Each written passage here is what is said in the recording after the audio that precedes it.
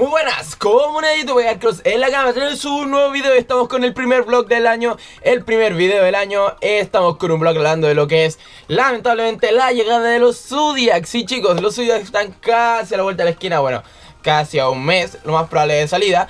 Y ya tenemos que prepararnos Tenemos que mentalizarnos Porque se nos viene un formato peligrosísimo chicos. Y yo les vengo a dar mi opinión sobre ese tema Así que, sin más preámbulos Comencemos con el video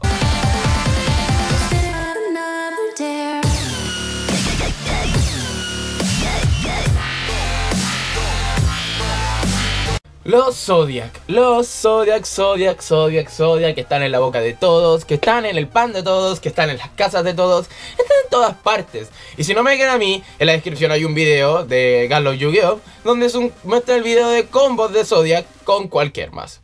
Si eso no les dice que va a estar en todo, es porque son estúpidos. Al menos yo creo eso. ¿Ya? ¿Qué, qué tiene de bueno los Zodiac? ¿Por qué se consideran tan buenos? Bueno, yo los veo por tres factores. Uno, son súper prostituibles. A lo que voy es que se pueden combinar con todo. Con todo. Todo. O sea, todo, chicos. No les estoy mintiendo. Todo. ¿Ya? Lo segundo es que son súper rápidos. Son súper consistentes, súper turbo. Con una carta hacen combo. Viera. ¿Ok? Eso es otro punto. El acceso es que son fuertes. O sea, el hecho de que con una carta te hagan combo y te pueden dejar un campo más o menos decente, combinado a lo demás que te puede salir en la mano. Sí, porque sí, chicos una carta te da combo de varios monstruos y te quedan cuatro cartas para combiar. Significa que puedes seguir jugando en base a lo que ya tienes. ¿Y por qué les digo esto, chicos? Porque estamos en presencia de tres factores súper, súper importantes. Bueno, el primero no porque eso le da a la categoría de engine. Pero los otros dos son súper, súper importantes y estamos hablando de un engine tier 0, no un mazo, estamos hablando de un engine. ¿Por qué? Porque este mismo engine aparece, según la gráfica que nos da Rock to King, eh, un más de 90%. O sea, tenemos toda la rueda desde Zodiac puro hasta Zodiac Metal Force. Luego un, Infer uh, luego un porcentaje Infernoid donde 3 de los 4 eran con Zodiac. Y otro porcentaje de otros donde 3 de los 4 jugaban Zodiac y el otro era un ABC. Es porque estamos hablando de un mazo que es de un engine que es perfecto. O sea, en el caso de artefactos eh, pasaba esto porque había la pelea entre Traptrix, Hands y artefactos. Más, había un mazo que combinaba los tres. Pero no era de este estilo que un, un puro engine monopolizaba todo. Y eso nos da que pensar. Nos da de que pensar porque esa lista era antes, esa, esta información era antes de la llegada de la banlist donde Terra y Tenki sean a uno.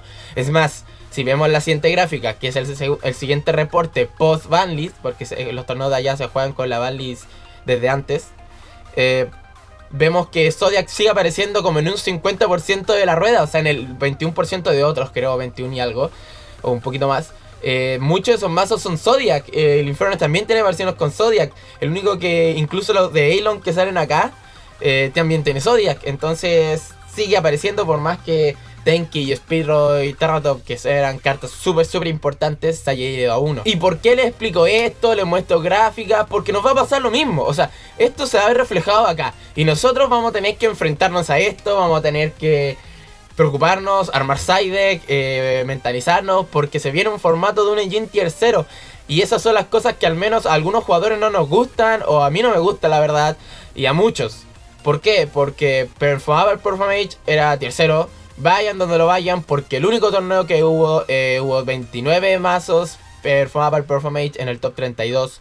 Los demás eran Cosmo y Monarca, eran 3 entre esos dos mazos. Eh, luego tenemos Ruler, que se peleaba el tier 0, tier 1, porque está Spellbook, entonces era como una cosa complicada, pero no me voy a meter en esa discusión, no, no me importa. Luego estaba, y anterior a eso estaba Teledad o Dark Return, Siempre está la discusión de cuál mazo, pero para mí los dos eran tier 0 porque That Return nunca llegó a ser tier 0 porque le dieron valid de emergencia. Entonces pintaba por algo y Teledad era tier 0, ¿ya? Teniendo todo esto en cuenta, teniendo ya darles por qué yo considero que va a ser un formato tier 0 y todo esto, mi opinión. No me gusta. No me gusta para nada. Es más, yo no voy a jugar Zodiac porque considero que o los tocas muy rápido o ser un gasto de dinero, no sé.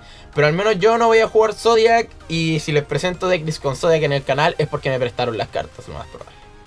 Considero que un formato tier 0 es súper aburrido, la verdad es ver siempre, al menos para el espectador, es más aburrido que para el jugador. Porque el espectador mira desde afuera y ve siempre el mismo combo una y una y una y una y una otra vez. Y es aburridísimo. Les cuento una anécdota. cuando estaba grabando la exhibición del el Zodiac Invoket o Yuinchi Eidolon, como queramos decirle, estaba súper aburrido grabando por el hecho de que el mazo sí es bueno y yo se lo quería mostrar porque era bueno, weón. Pero el combo, siempre partíais con combo, o si no partíais con combo, la arreglabais para que saliera. Entonces era súper aburridísimo. Y yo no soy de jugar un mazo que me aburra. Al menos, y al menos mi opinión, o sea. Este video es más que nada mi opinión. Pero los Zodiac, si me preguntan, ¿los Zodiac son buenos? Sí, son buenos. ¿Voy a jugar Zodiac? No. Como ya les dije, no quiero jugar Zodiac, no voy a jugar Zodiac. A menos que me los presten, pero yo no voy a gastar dinero en eso. ¿Ya?